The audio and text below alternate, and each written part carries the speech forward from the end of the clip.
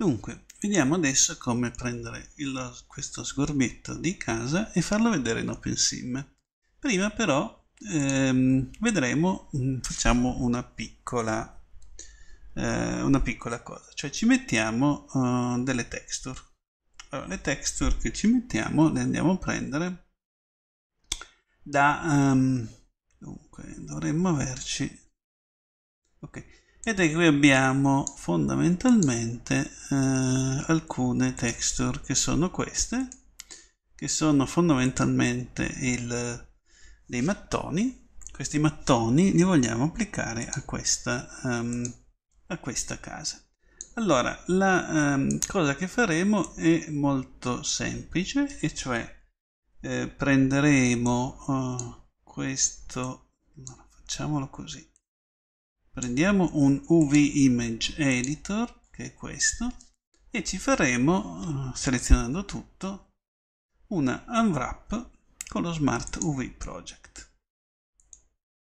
Vedete che ci ha messo la casa eh, un, un, po', essendo low poly, e ci sono tutte le, ehm, tutti i muri che sono abbastanza interessanti. No? Ehm, ci ehm, adattiamo qui i vari, ehm, le varie immagini. Le varie immagini abbiamo visto, ma ne basta una in realtà per fare tutto il nostro giochino. Quindi prendiamo ad esempio il brick diffuse, questo, e quindi lo... Uh, ah, non l'ha preso, eh? facciamo il brick diffuse ok? E ehm, vedete che con questo UV map se andiamo a vedere il materiale magari rendered ah ok. Vedete che non ci fa ancora vedere il materiale perché dobbiamo fare il giro che abbiamo detto. Quindi questo materiale in sintesi gli mettiamo una texture che questa c'è già e qui ci mettiamo il diffuse. Il diffuse ci mettiamo UV UV map che è quello UV map che abbiamo fatto prima. E nel tipo della texture mettiamo image or movie e poi l'agganciamo così. Okay. vedete che adesso non è proprio una texturizzazione fantastica ma se io seleziono tutto e poi faccio un S10 eh, per esempio ecco così. S10 ho moltiplicato per 10 quindi invio. E quindi abbiamo un, uh, un, un esempio di texturizzazione plausibile. Ok. Allora una volta uh, fatta la casa così quindi avendo fatto l'UV map avendo visto che ha un minimo di credibilità andiamo soltanto a verificare le dimensioni di questa casa. Quindi in object mode quindi la scala 1 1 facciamola un pochino no, se no facciamo direttamente la selezioniamo materiale facciamo scala 10 quindi facciamo diventare bella grossa. Vedete che si vede eh, dentro quindi è abitabile dentro perché c'è la luce dentro. Eventualmente si può vedere anche fuori con la luce fuori. Ehm, facciamola giusto così. Prendiamo la lampada shift D e ce la portiamo anche fuori vedete? Così illumina anche da fuori Ora non sto qui a fare tutto il giro del, um, della normal map e della specular, eh, ma non è necessario, nel senso che poi su Second Life la specular e la normal la aggiungeremo senza dover fare tutto il giro che abbiamo visto nei video precedenti, no? Quindi l'unica cosa che adesso, ah, qui tra l'altro mi è scappata, diffuse. Ok, tornato. Quindi esportiamo finalmente questa, questa, questa specie di, insomma, di rudere. Hm? Quindi, ehm, allora abbiamo detto che siamo in material. ehm, per esportarlo selezioniamo l'oggetto, facciamo file, export, collada e qui facciamo casa abitabile, per esempio facciamo 3 perché prima ho fatto un po' di export diversi, casa abitabile 3 e gli diciamo di Second Life OpenSim Static e ehm, andrebbe bene così nel senso che la eh, esportiamo come casa abitabile 3 Uh, se, vogliamo, se, vogliamo fare coraggiosi potremmo anche provare a includere i materiali, ma non è che ci creda molto che lo faccia. Hm? Quindi facciamo export con l'ADA e quindi casa abitabile 3 ce l'abbiamo messa uh, a posto. Andiamo dentro uh, OpenSim, vedete che qua siamo in OpenSim, e proviamo qui a importare casa abitabile 3. Quindi cosa facciamo? Word um, anzi build upload mesh model e qui abbiamo casa abitabile 3 facciamo open. Ok. E direi che non l'ha presa tanto quindi abbiamo probabilmente sbagliato qualcosa. Torniamo un attimo qua. Diamo soltanto quindi questa. File. Export. Collada casa abitabile facciamo questo punto 4 infatti vedete che era molto piccolo probabilmente avevo selezionato solo la luce avevo esportato la luce. Casa abitabile 4 dovrebbe a questo punto esportare qualcosa di meglio. Torniamo di qua da noi riproviamo.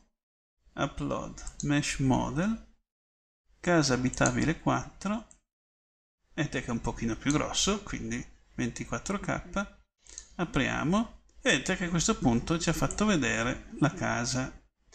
Um, se facciamo textures dovrebbe farci vedere anche la texture con cui è stata texturizzata. E um, oh, forse c'è anche la possibilità adesso qui degli include textures e dovrebbe portarsi anche la texture. Io preferisco sempre portarmi le texture separatamente. Mm? casa abitabile. Chiamiamola uh, 4 ok? Um, qui uh, abbiate cura di vedere che quando è vicina la vedete così. Quando è media vedete che si determina deturpa parecchio e quindi gli diciamo use load above per vederla abbastanza benino. Quando è lontanina eh, conviene ehm, conviene in realtà mettere tutte use load above. Cioè quando avete pochi vertici così potrebbe ancora convenire. Eh, quando ci saranno parecchi vertici nell'ordine delle decinaia di migliaia questo modo è sconsigliato, eventualmente vi farò vedere un'alternativa. Ma comunque, proviamola così. Allora, facciamo calculate weight and fees e poi facciamo l'upload. Quindi abbiamo casa abitabile 4 che abbiamo effettivamente qui recent casa abitabile 4 avete che eh, mi ha tirato su anche la texture a cui, era, a cui era collegata. Quindi in questo caso è andato bene. Prendiamo la casa abitabile 4 la rezziamo. E vedete che eh, sono entrato dentro questa casa già con la sua texture ma eh, l'idea è quella di ehm, metterci anche la normal map che io qui ce l'ho già quindi per semplicità. Andiamo sulla la texture ce l'abbiamo già. La bumpiness dobbiamo metterci la normal map. E nella normal map eccola qua che l'avevo scaricata prima. E vedete che avendo messo la normal map ha fatto una leggera differenza e, gli mettiamo anche la specular map. Ok.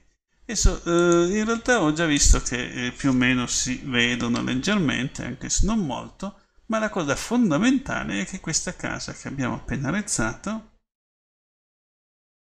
è diventata diciamo eh, abitabile, nel senso che dentro gli ho fatto la porta, sono entrato, le pareti vedete che collidono, non mi fa andare, e poi le aperture che abbiamo fatto, vedete che qui c'è un'apertura qui in fondo, quindi se volo posso andare al secondo piano e poi eventualmente anche al terzo piano. Adesso qui non si vede un granché, ma l'idea di fondo è che effettivamente eh, ho una casa, sia pure di mattoni, sia pure molto brutta, che ha le caratteristiche di abitabilità richiesta. Da. Poi sulla texturizzazione ovviamente l'ho fatta molto molto semplice per, ehm, per fare questo video. Ah, ok, questa, questa casa era messa perché ne ho già realizzate altre di casette. Qui faremo un villaggio eventualmente. Ehm, volevo soltanto, prima di andare via, farvi vedere che in realtà sembra che non si veda tutto questo discorso di normal mapping, eccetera. Ma se guardate un po' l'effetto, allora questa casa sulla sinistra ha le normal map e la specular map e quella sulla destra ha soltanto la diffuse.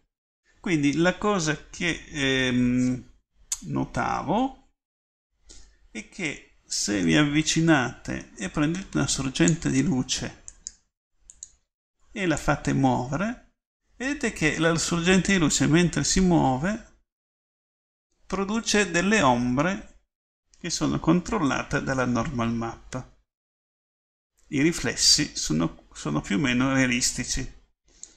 Se lo stesso effetto lo facciamo girare qua, vedete che non ho quel tipo di riflessione, nel senso che si vede un po' la riflessione, ma non si vedono le riflessioni nelle scanalature. Entriamo un po' più di vicino, se necessario, così. Eventualmente se volete fare anche voi questo giochetto potete dirmi se riuscite a capire la differenza vedete che qua non si vede mentre invece se la stessa pallina la facciamo girare qua vedete che fa le ombre molto più carine. Ah, se aveste difficoltà a fare questa, questa luce che si muove forse ve l'ho già fatto vedere basta creare una sfera colore bianco la texture gli mettete una texture blank, cioè vuota, e poi nelle features gli ho messo light, che emette luce. Dopodiché si potrebbe anche fargli emettere luce colorata, giallina. Ah no, però la riflessione è sempre... Ah sì, un pochino giallina è diventata. Comunque la, eh, il tutto dovrebbe a questo punto essere chiaro come rendere abitabile la nostra casa con la tecnica che vi ho fatto vedere del Solidify. Altre tecniche sono state accennate da altri partecipanti ed eventualmente se necessario le proveremo a vedere. Ehm, a me pare che questa sia fra le tutte una delle più immediate e fattibili, diciamo, con non troppo sforzo.